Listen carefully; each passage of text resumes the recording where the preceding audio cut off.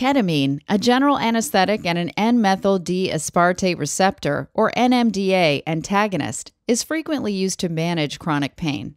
Magnesium has also been proposed to potentially augment that pain relief, since it physiologically blocks the NMDA receptor.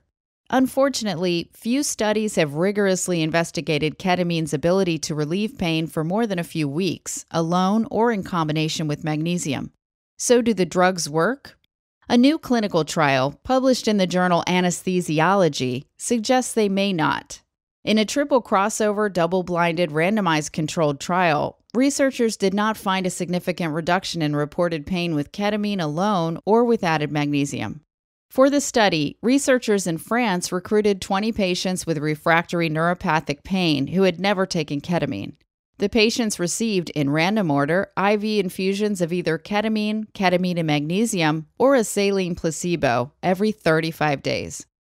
Participants then filled out pain diaries in which they rated their pain each day, as well as additional questionnaires on emotional health, sleep, and quality of life after each five week period. At 35 days, there was no significant difference in pain intensity, as evaluated by the area under the curve, between any of the treatment groups nor were there significant differences in the secondary questionnaire results. There was also no indication that those receiving two consecutive ketamine treatment periods were any better off than those who were given placebo in between.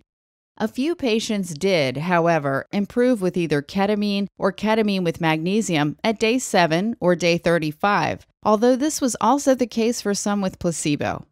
The results suggest that, at least as studied, ketamine is not effective for neuropathic pain and that magnesium does not offer any additional benefit.